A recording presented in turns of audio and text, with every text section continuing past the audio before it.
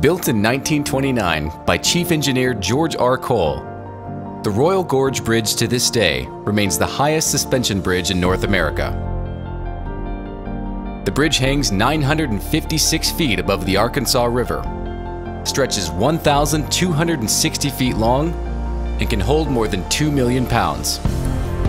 The bridge's two towers reach 150 feet high and hold two cables that weigh 300 tons.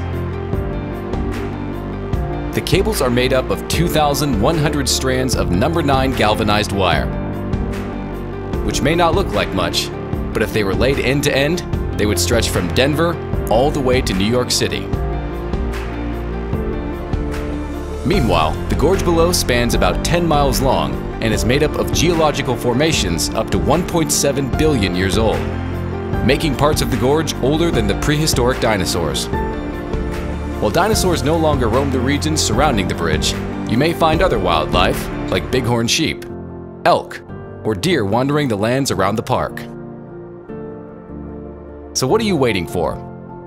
Come across and explore the Royal Gorge Bridge and Park today.